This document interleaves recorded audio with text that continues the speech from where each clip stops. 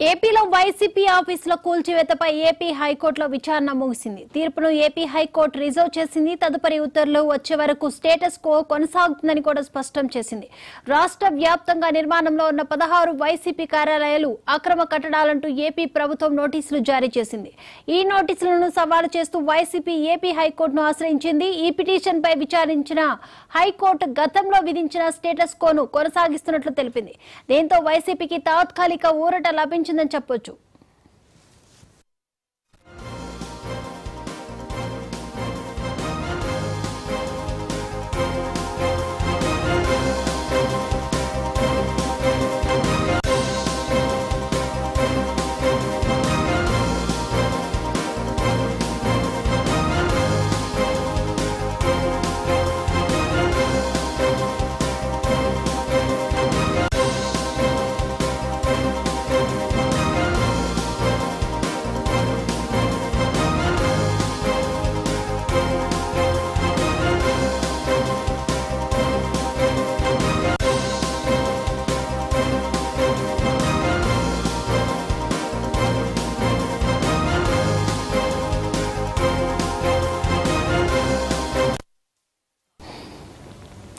ఏపీలో వైసీపీ ఆఫీసుల కూల్చివేతపై ఏపీ హైకోర్టులో విచారణ ముగిసింది. తీర్పును ఏపీ హైకోర్టు రిజర్వ్ చేసింది. తదుపరి ఉత్తర్వులు వచ్చే వరకు స్టేటస్ కో కొనసాగుతుందని స్పష్టం చేసింది. రాష్ట్ర వ్యాప్తంగా నిర్మాణంలో ఉన్న పదహారు వైసీపీ కార్యాలయాలు అక్రమ కట్టడాలంటూ ఏపీ ప్రభుత్వం నోటీసులు జారీ చేసింది. ఈ నోటీసులను సవాల్ చేస్తూ వైసీపీ ఏపీ హైకోర్టును ఆశ్రయించింది. ఈ పిటిషన్పై విచారించిన హైకోర్టు గతంలో విధించిన స్టేటస్ కోను కొనసాగిస్తున్నట్లు తెలిపింది. దీంతో వైసీపీకి తాత్కాలిక ఊరట లభించిందని చెప్పొచ్చు.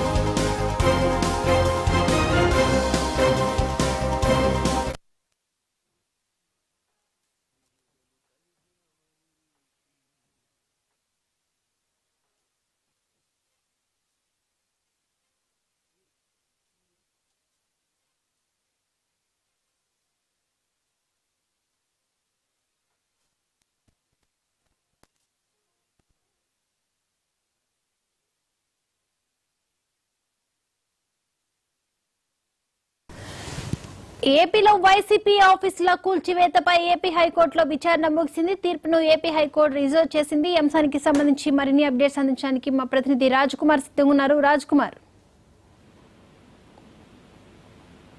వైఎస్ఆర్ కాంగ్రెస్ పార్టీ కార్యాలయాలకు సంబంధించి హైకోర్టులో నిన్న ఆ పార్టీ ఎమ్మెల్సీ అంటే వైఎస్ఆర్ కాంగ్రెస్ పార్టీ ఎమ్మెల్సీగా ఉన్నటువంటి లేల అప్పిరెడ్డి వేసినటువంటి పిటిషన్కి సంబంధించినటువంటి దానిలో ఈ రోజు విచారణకు వచ్చింది. ఇరుపక్షాలు వాదనలు లేనటువంటి న్యాయస్థానం తీర్పును రిజర్వ్ చేసినటువంటి పరిస్థితి అంటే ముఖ్యంగా చూస్తే ఏదైతే వైఎస్ఆర్ కాంగ్రెస్ పార్టీ ఆ కార్యాలయాలు అటు అక్రమంగా నిర్మాణం జరుగుతున్నాయి ప్రభుత్వ స్థలాల్లో ఎక్కువ సంవత్సరాలు తక్కువ లీజుతో కేటాయించారు ఇది నిబంధనలకు విరుద్ధంగా ఉన్నటువంటిది అని చెప్పి ఏదైతే ప్రభుత్వం ఆ దానిలో విచార దానిలో ఏదైతే వాదనలు వినిపించినటువంటి నేపథ్యంలో అటు వైఎస్ఆర్ కాంగ్రెస్ పార్టీ తమ దగ్గర ఉన్నటువంటి విషయాలన్నింటినీ కూడా ఈ రోజు కోర్టు ముందు ఉంచడం జరిగింది. అంటే దీనికి సంబంధించి ఏదైతే కోర్టు ఇరుపక్షాలు వాదనలు విన్నటువంటి న్యాయస్థానం తీర్పునైతే రిజర్వ్ చేసింది. అంటే అప్పటి వరకు కూడా